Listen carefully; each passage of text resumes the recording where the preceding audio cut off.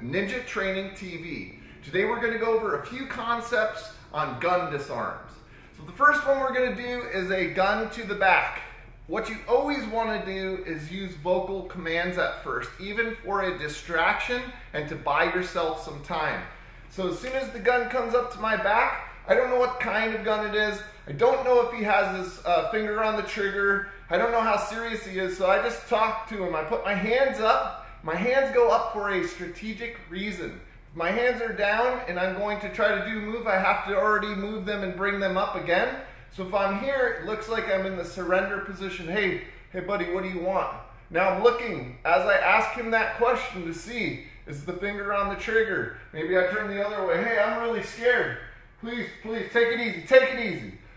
Now, I'm also feeling with my back, if he put it in the middle of my back, or if he put it to one side of my back, or the other side of my back. So let's say he put it all the way over on the right side of my back.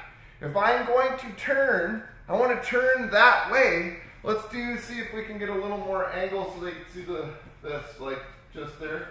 Can you see that? So I'm, he's all the way to my right now. If I turn this way, the muzzle comes off of my center line, and if a round goes off, it's gonna shoot next to me. If I'm here, and it's to the right side, and I turn this way, he's got all that body time. He's shooting through me, shooting through me, shooting through me. Now it's finally off. So you have to strategically think which way am I gonna take less of a bullet if I turn. So if it's on the right side, I turn to the left. My hands are already up. Check this out. I get a wrap. I can start to control the next round going off and then do some type of a maneuver, take him, subdue him, and then try and secure the weapon. I always want to be care of muzzle discipline. Muzzle discipline is huge because I might have a crowd around me of people that I love, care about, and I don't want to sweep them because if his finger's on the trigger, he could be shooting them. So maybe I've got to think about this aiming up. Or if I can, maybe think about aiming it down. It might be in a safe direction then. So these are a couple little things for you to think about. As that comes up, I'm feeling, my hand comes up, I try to set up a dialogue, talk to the person. Then after I determine I'm going to make my move, I make a move really fast.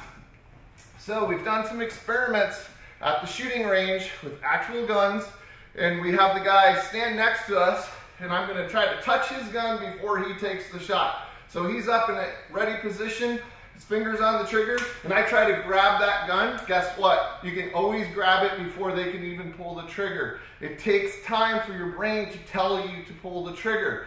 So when you're actually in a confrontation, you do have a second to get offline. And depending on the type of uh, pistol that you're dealing with, you can grab it in different ways to be safe and to maybe even not have it chamber another round. So we've actually done these on the range and it works. So this next one here, I have the gun against my back. I've turned up. I'm going to do Musha Dori, warrior take. Then some type of a hit to the face and then take the person down on the ground and then do some pain compilation follow up here with some, some type of uh, pose. And then we get to take away the weapon, aim it, break it down, secure it, make sure nobody else gets hurt. Okay, so that's one. Second one, this one happens in hostage situations a lot. You're in a kneeling position, the person's coming up, saying all sorts of crazy stuff. If you can get them to get this close without shooting you, you have a pretty good chance. If they're further away, you've got to close the distance and it creates other problems to deal with. But we're just going to go with the easy one today for you guys. It comes against your head. Now, the same thing with the shoulder. I have to feel if he's down towards the middle of my head or if he's up towards the top because maybe I can get offline even if this goes off maybe I'll hurt my ears. Doesn't really matter if I have my life still but I can also sink my head as I push up. And then I take this muzzle because I've got really good leverage here against him. I can aim this towards him. Now if it goes off he accidentally shoots himself. I could deal with this then, take it down, strip this out of his hand, having muzzle awareness, and then ask him, you know, what's going on. Talk to him about it. So we go one more time, we'll go nice and slow. We're here, he puts it, I'm gonna try to sink, come forward. I spread my legs out to get a little angle here, and then I'm gonna drop this down right away. We can come in with different types of takedowns, and then I'm going to step through and secure the weapon and finish the technique.